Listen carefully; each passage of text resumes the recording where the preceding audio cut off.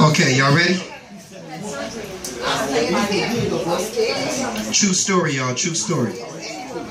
Y'all ready? Baby, shut up. He said, you ready? All right, fellas, fellas in the kitchen. Just remember, I'm recording. Just you know what I'm saying. Just all right. Right, everybody got a seat right here. Right, everybody in the kitchen, come on. I can't sit on. I can't sit on the floor. Here we go. As I sit and stare between these bars and think about my life and the many mistakes that I've made. I just hope that he hears this as I ask him for forgiveness all those lonely nights that I lay and I pray.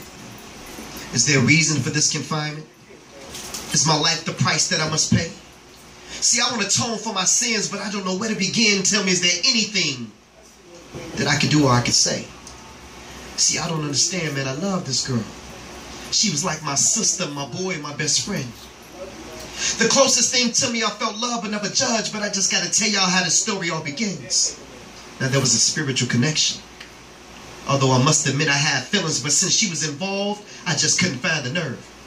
But this guy, he mistreated her, and, and at times he would beat on her, but to me, she was a queen, and he could never give her what she deserved. I felt all of her hurt and pain, but there was only one man to blame. Because it was his hands, his knuckles, and his fist. Or was it a two-way street? But my girl was so sweet, I had to ask her, baby, why you, why you staying put up with this shit? See, the reality was that she was afraid to leave, and there were questions in my mind. Do you really want to go? You know how y'all feel obligated to stay, although your feelings of going away? But it's one thing he should know you reap what you sow. Now, while he was doing all of his lines, she was calling me crying, asking me what I thought it was that she should do. But there were some things she had to see that Blaq Ice wouldn't be able to show her. Besides the answer to these questions she already knew. See, her only choices were the ones that she would choose, and I just couldn't bear to see her face bruised. An abused friend, man, I refused to lose, and just to think of her neglected. And all the times that this nigga disrespected my help, rejected, but baby, I can't protect you if you don't want to be protected. Tell me, what is it going to take for you to remove the veil from in front of your face and see that when he was locked up, this was the only time that you had a feeling of being free until you met me and I gave you inspiration to breathe again and the faith to resist. Told you to pray for the strength to walk away because I just couldn't keep seeing you going through this shit.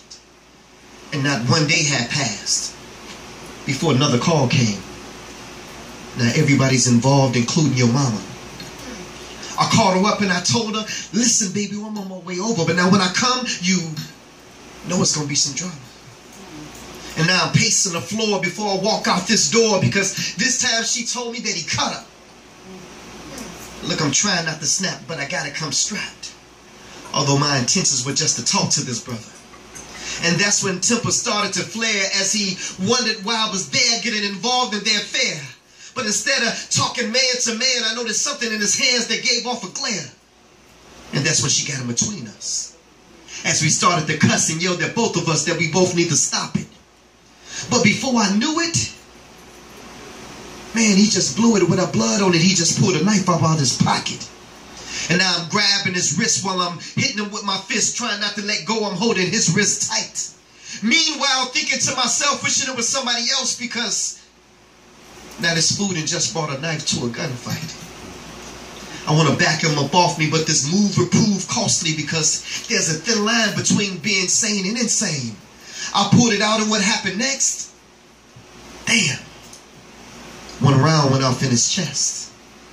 In just this one moment in life, my whole life changed. And now I'm cuffed up and roughed up, all because I tried to help out a friend.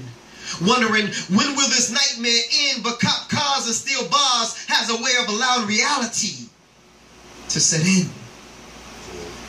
See, confinement is more than just a physical thing. There's more than one way that you can be confined. See, my girl, she was locked into a world. And her confinement, it was the state of her mind. Confinement, that's that y'all.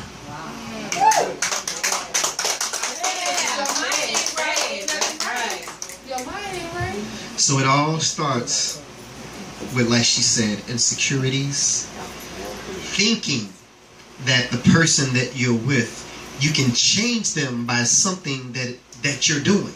But the reality of the situation is, especially for men, our change really has nothing to do with you. Our change has something to do with what our spiritual maturity is at that time. If we ain't ready, we ain't ready. I don't care how much you're doing, how much you expressing, it has to be something that we are a place that we're at in our life. So I just wanted to kind of share that piece that's called confinement. Give it up, y'all, one more time.